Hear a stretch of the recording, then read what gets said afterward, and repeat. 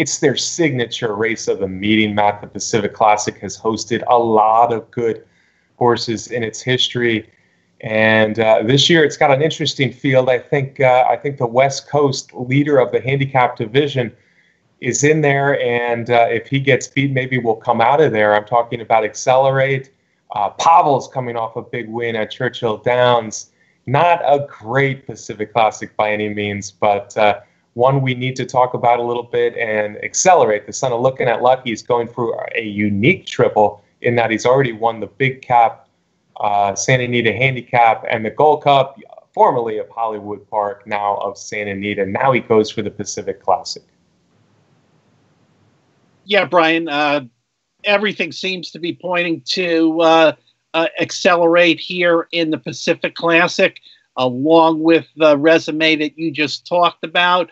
Um, is the fact that Accelerate loves Del Mar. He's got a fantastic record out there. Um, his running style, sitting, uh, you know, off the pace, stalking seems to fit really well in in in the Pacific Classic.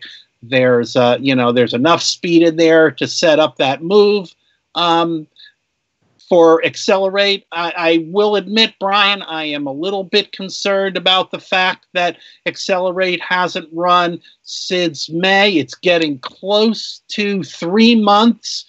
Um, he was originally going to run uh, sooner than the Pacific Classic, so um, I don't know if there's a story to go with to go with that, but it puts some question marks in my mind. But clearly, Accelerate is the horse to beat. Matt, I remember you saying the same thing last year about Stellar Wind for the same connections. Uh, John Sadler, Hronis Racing. Eventually, that caught up with Stellar Wind as she uh, she failed late in the season in the Breeders' Cup, but up until then she ran well. It seems to be their mo. Uh, they're really good horses. They kind of spread out their racing. We'll see. I think he's strictly the one to beat in here. As you say, he's got a very good history at Del Mar. He seems to really love the main track at Del Mar. Uh, huge win in the San Diego last year, and then a, and a, solid third in the Pacific Classic last year. A tougher Pacific Classic last year. Uh, now he faces a field that uh, it could have looked a little bit more interesting. There was some buzz. Maybe his stablemate, his lightly raced, impressive stablemate, Catalina Cruiser, would make it in after all. But uh, they decided to keep those two horses separate. And maybe even more interesting would have been the uh, the champion mare, Unique Bella. Jerry Hollendorfer threw it out there that she, uh, well, she was nominated for the race. So there was a shot that she would end up in the Pacific Classic. Neither showed up. I think that makes Pavel a clear second choice, Matt. We've uh, we've known about Pavel since his maiden win. Uh, they threw him to the wolves early in his career. He ran some very good races, had some bad luck, went on a losing streak. But last time at Churchill Downs, it was a muggy, muggy hot night at Churchill Downs. But in the Stephen Foster, he was much the best.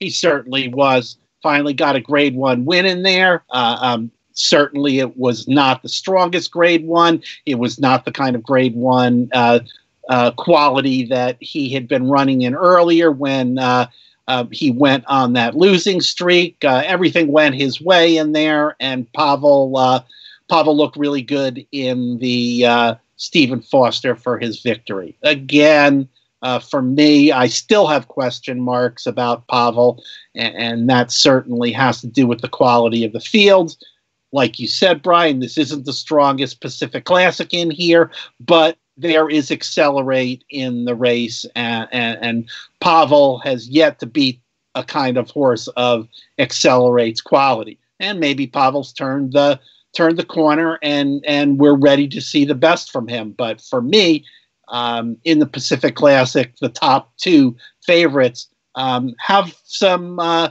uh, serious question marks. Fair enough. Uh, maybe maybe there's a long shot in there for you, Matt uh, for me, Accelerate is the one to beat. Uh, and, and, Pavel, yeah, there, there, there's a chance that maybe he has finally uh, put it all together. Like I said, he was thrown into some very deep waters early in his career, and, and he struggled just a little bit. But now, uh, coming off the great win, win at Churchill Downs, maybe that confidence builder uh, builds as he gets back to California for the Pacific Classic. Another try I'd accelerate. Those are the top two favorites, Matt. I'm going to throw in a, a horse I think who could uh, rally up into the picture because I think the lieutenant. I like his last two races he's a rallying type, and I think a mile and a quarter, uh, the son of street sense, getting better. Should like the distance. There's uh, a reasonable amount of speed in here, so I, I think the lieutenant uh, might run a very good race to get into the picture, maybe double digit odds. And then we need to mention the Baffert import, the South American horse, who I fully expect to be the third choice in here, Roman uh, Roman Rosso. Bob Baffert brings him in in his first race in America uh, although a Group One winner in two countries, Argentina, and then he uh, he went over to Uruguay to win a Group One as well. Ah, those Group Ones in Uruguay, you have to watch out for them, Brian. But uh, um, I, am agreeing with you here, Brian. Um, my pick in the Pacific Classic is the Lieutenant. Uh, I'm going to take a shot in here. I think the odds are there. Trainer Mike McCarthy knows how to get a horse ready. Um, the lieutenant, we saw him run second to diversify uh, in the suburban, which uh, uh you know is, is, a good entry in his resume. I think he's going to get a good setup again. Um, if Accelerate is at his best, I don't think he's going to get beat. But uh, hey, I'm going to take a shot with the lieutenant. Very good. Okay, so we're we're on the same. Uh, we're calling him a long shot. I, I, don't know if he's eight to one or nine to one or ten to one, somewhere in that range. I I certainly see him as about the fifth choice in here. So should get some odds. I think accelerates the one to beat. So accelerate over the lieutenant for me. Matt goes to the long shot with the lieutenant. We'll have to wait and see. Now Uruguay, Matt, we laugh, but of course there was a horse uh, a little over a decade ago named Invasor who did pretty well coming from Uruguay. So you never know. Although Roman Rosso is really an Argentinian horse at heart.